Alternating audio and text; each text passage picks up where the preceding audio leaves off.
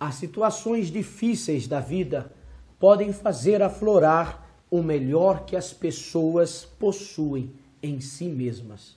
Eu sou Sonlu Nardelli, estou de volta com o auxílio bíblico para a escola dominical e hoje estudaremos a lição de número 8, cujo tema é Abigail, um caráter conciliador. Seja bem-vindo ao canal que edifica a sua vida e compartilhe a palavra de Deus através das redes sociais. Que Deus abençoe. Seja bem-vindo na paz do Senhor Jesus Cristo.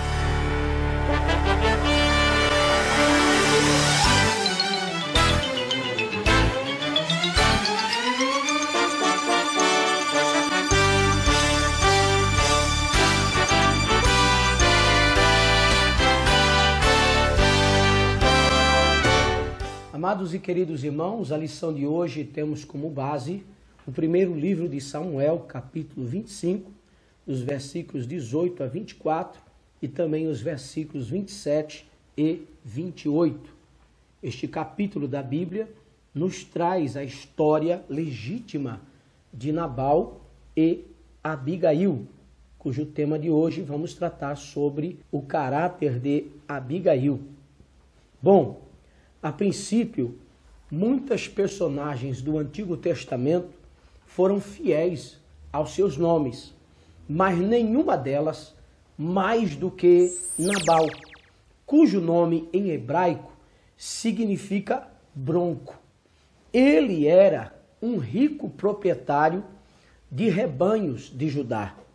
Vivia em Maom, mas apacentava os seus rebanhos é, em Carmelo, sendo que Abigail era sua esposa. Ela era bela, encantadora e inteligente, ao passo que Nabal, seu marido, era intratável, era egoísta e muito mal educado. Ele era um rico fazendeiro que criava ovelhas. Enquanto Davi fugia da fúria paranoica de Saul, Nabal é, não passava de um comandante militar com um grande séquito de soldados. Saul incentivava o exército de Nabal a atacar os vilarejos ou fazendas para conseguir suprimentos. Davi, por outro lado, dependia das coisas que lhes eram oferecidas voluntariamente, de acordo com 1 Samuel 25, verso 15. Durante a estação da Tosquia, uma época festiva, quando todos ficavam de bom humor, Davi enviou emissários a Nabal para pedir alimento para seus soldados. Veja, amados irmãos, que Conforme a Bíblia nos orienta, Davi ele tinha o cuidado de nunca tomar provisões dos israelitas sem a permissão deles. Por outro lado, Saul, é, o rei que lhe perseguia, não tinha reservas quanto a saquear as fazendas, locais para alimentar os seus soldados. Com frequência, Davi protegia os pastores e as fazendas, tanto de Nabal quanto a de seus vizinhos, desses ataques. É interessante que Nabal, ao receber o pedido, a solicitação de Davi, recusou-se a ajudar.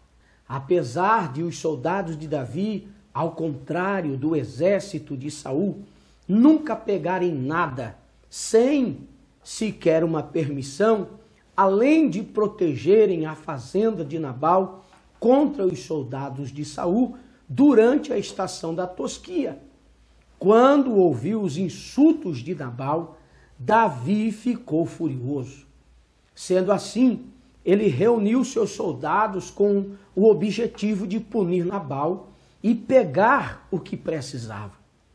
Abigail foi ao encontro de Davi no caminho, ofereceu alimentos, desculpou-se pela rudeza e dureza do coração de seu marido e pediu a ele que considerasse que ela, e não Nabal, era culpada dessa ofensa. Davi ficou tão impressionado com Abigail que a abençoou e retrocedeu. Ela voltou para casa e contou a Nabal o que acabara de fazer. A Bíblia nos diz que Nabal ficou tão furioso que sofreu um ataque e ficou paralisado como uma pedra. Provavelmente, amados irmãos, um ataque apoplético, pois dez dias depois ele morreu. Ao saber da morte de Nabal, Davi enviou uma mensagem àquela mulher, a Abigail, pedindo-a em casamento, o que ela aceitou prontamente e ficou ao lado de Davi durante as muitas dificuldades é, que o rei enfrentou durante a sua jornada. Ela lhe deu um segundo filho que lhe chamou de Quileabe, que também é chamado Daniel em 1 Crônicas capítulo 3, verso 1, ou Daluai, Daluia, Daluia, em 2 Samuel capítulo 3, versículo 3.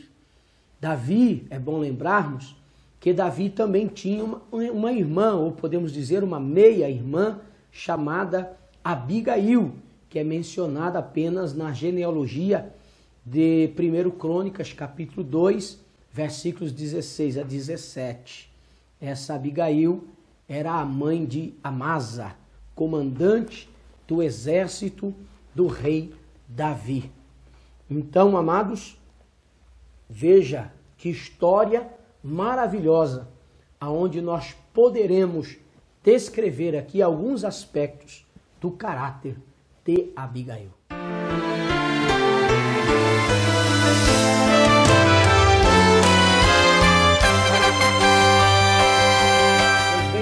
Irmãos, diante de um acontecimento tal como a Bíblia nos traz a nós, em 1 Samuel capítulo 25, em relação a Nabal e Abigail, nós vamos destacar aqui é, que esta história, na verdade, Abigail demonstra qual é de fato o seu verdadeiro caráter.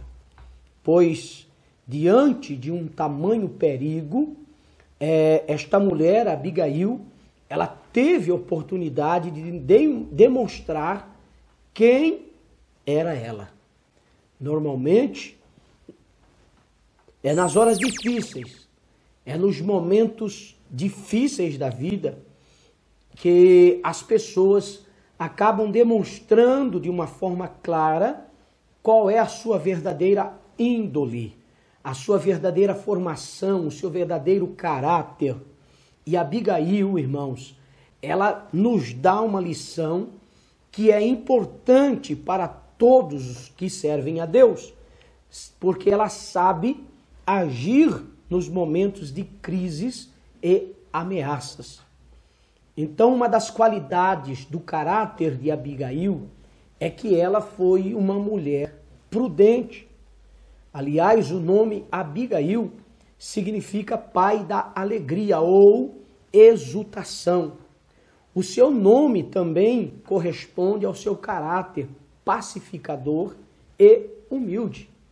Ela era uma mulher dotada de beleza física e entendimento, segundo a palavra de Deus. Um servo de Namal comunicou a ela o mal que iria cair sobre a sua casa por causa da loucura de Nabal em ter sido afrontoso com Davi, em não respeitá-lo, em não atendê-lo no momento tão oportuno. E também aquele servo comunicou à sua senhora o quanto ele e os seus companheiros, pastores de Nabal, tinham sido tão bem acolhidos por Davi e pelos seus homens, enquanto ficaram no deserto cuidando do rebanho. Advertiu sobre o que iria fazer pois a decisão de Davi, amados irmãos, enquanto é, Davi vinha contra eles como vingança, era para exterminar tudo, tudo o que pertencesse a Nabal. Sendo assim, a postura desta mulher é tomar uma decisão na hora certa, no momento certo, e sem comunicar, sem fazer com que o marido soubesse. Ela manda os seus servos aprontarem os animais com bastante alimento para sair ao encontro de Davi para ver se apaziguava a situação. Então nós vamos ver em Abigail um caráter diligente e sábio, porque ao saber do mal que estava arquitetado contra o seu esposo e a sua casa, Abigail não se demora. Com diligência e sabedoria, ela apressou-se em agir. Abigail não foi apenas orar a Deus. Cremos que ela fez isso sim, mas também agiu de uma forma rápida, de uma forma eficiente, antes que o pior acontecesse. Ela preparou uma carga de cereais, de frutas, de vinho, colocou sobre alguns jumentos e mandou que os criados seguissem adiante enquanto ela ia atrás. Entretanto, ela fez tudo isso sem comunicar nada ao seu marido insensato. Ela usou de prudência. É, caso fizesse todo o plano para evitar o mal, teria resultado num fracasso e numa tragédia maior do que estava projetada.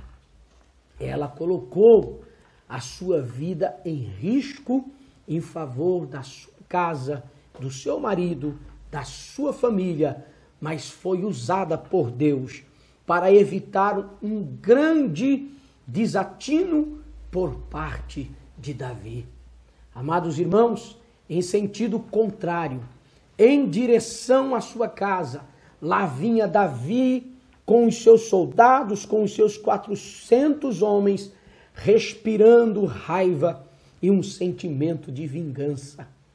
Ao encontrar os servos de Nabal, Davi desabafou, dizendo: Na verdade, em vão tenho guardado tudo quanto este homem tem no deserto, e nada lhe faltou de tudo quanto tem e ele me pagou mal por bem.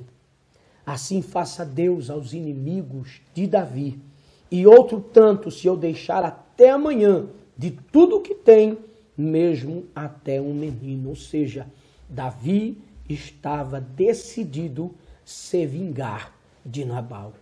Naquela hora tão desagradável, lá estava o homem escolhido por Deus, ungido por Samuel, deixando-se dominar pela natureza carnal, respirando vingança tão grande, tão grande, é, e o desejo de fazer justiça, justiça com as suas próprias mãos.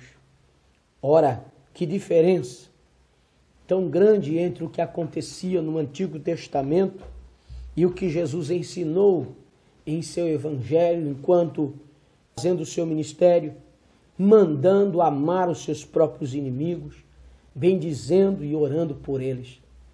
Nós sabemos que este é o nosso dever nos dias atuais, mas naquele contexto histórico e cultural, Deus permitia a vingança, né? A vingança. Mas veja o caráter de Abigail. Enquanto Davi cavalgava com fúria, é, juntamente com seus homens de um coração ferido, sua mente fervia sentimentos de vingança.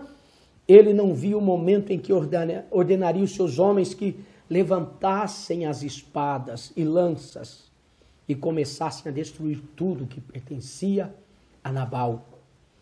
Por fim, em sentido contrário, vinha Abigail, que era mulher bela, sábia, vinha montada em seu jumento Em seu coração ela levava um sentimento de humildade, de amor e de perdão. É, ao ver Davi, ela desce do seu animal, prostra-se com o rosto em terra diante daquele que intentava destruir a sua família.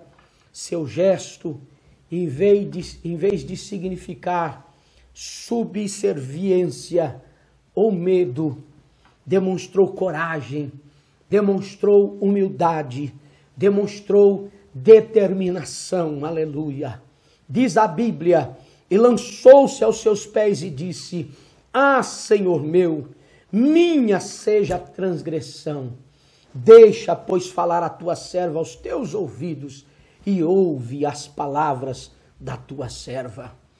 Amados, grande parte do capítulo em análise registra as palavras de Abigail visando dissuadir Davi de levar adiante o seu intento de violência e de morte, além de avocar para si a culpa de Nabal.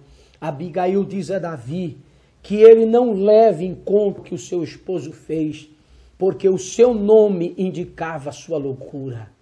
E fez Davi ver que Deus livrara-o de vir com sangue e fazer justiça com as próprias mãos, e mostrou a bênção que levara para Davi e os seus homens, pedindo perdão a Davi, como se ela fosse a causadora do tão grande transtorno, e ainda reconheceu que Davi guerreava as guerras do Senhor e que não era culpado de nenhum mal.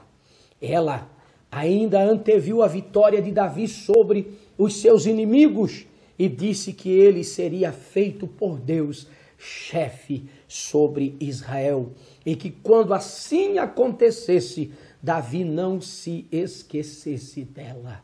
Glória a Deus. Foi uma atitude de muito significado e efeito sobre o coração daquele que seria futuramente o rei de Israel.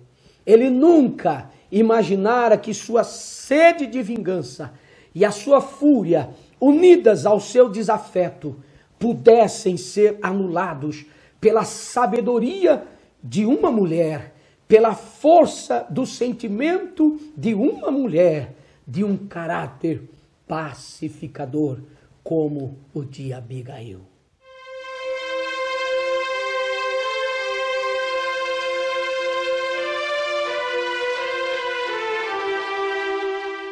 Amados irmãos, quando nós vemos este fato que ocorreu, e a Bíblia nos traz de uma forma tão simples e singular, nós vemos que Davi estava a um passo de macular o seu futuro reinado com uma mancha que talvez nunca supesse e teria vivido com esse borrão em seu relato real para o resto da sua vida.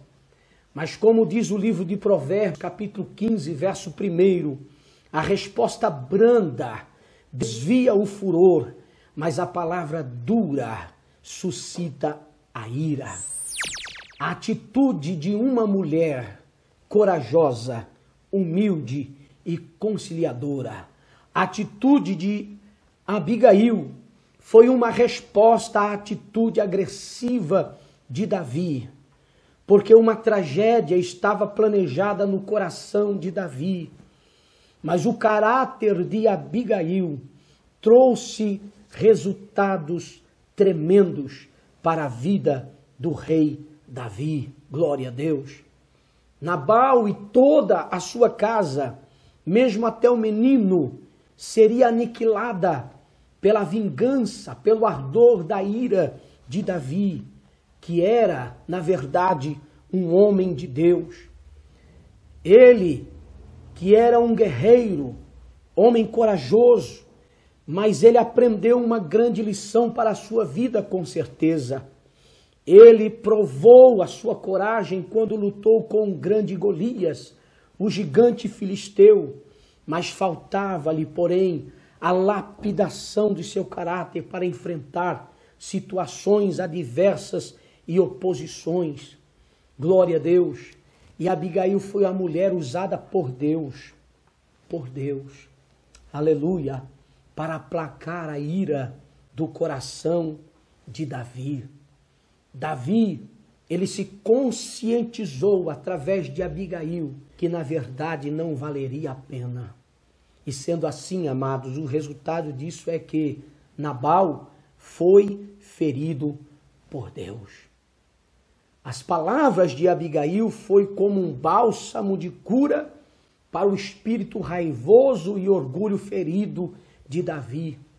E dez dias depois, a Bíblia diz que Nabal foi ferido por Deus e morreu. Deus, amados irmãos, tem os seus caminhos e as suas maneiras de agir no seu tempo. Não vale a pena se precipitar. A vingança pertence ao Senhor. Desde que Nabal sofreu o impacto das más notícias acerca do que poderia ter lhe acontecido pela sua insensatez, a Bíblia diz que de forma bem simples e direta. E aconteceu que, passado quase dez dias, feriu o Senhor a Nabal e este morreu.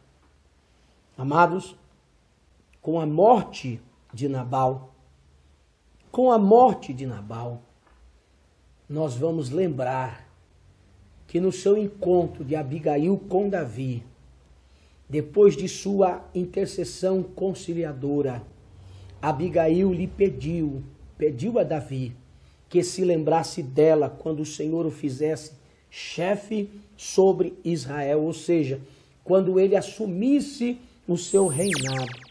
Contudo, logo após a morte de Nabal, Davi agradeceu a Deus por ter lhe livrado de cometer um grave erro diante do Senhor. E a Bíblia diz no versículo 39: E mandou Davi falar a Abigail para tomá-la por sua mulher. E ele assim fez, mandando os seus criados falar com Abigail, transmitindo o honroso convite. Davi nos tem mandado a ti, disse os criados, para te tomar por sua mulher. O que, ao ouvir as palavras dos emissários de Davi, Abigail se levantou e se inclinou com o rosto em terra e disse: Eis aqui a tua serva, servirá de criada para lavar os pés dos criados de meu senhor. Nesta declaração, amados, podemos mais uma vez observar o quanto Abigail era humilde. Ela poderia ter tido que dito que lavaria os pés de Davi, do seu senhor, mas ela se colocou na disposição de ser serva dos criados do próprio rei, lavando os seus pés. Levantou-se depressa, mudou suas vestes, montou num jumento com as suas cinco moças que seguiam as suas pisadas, e ela seguiu os mensageiros de Davi e foi e se tornou a sua mulher.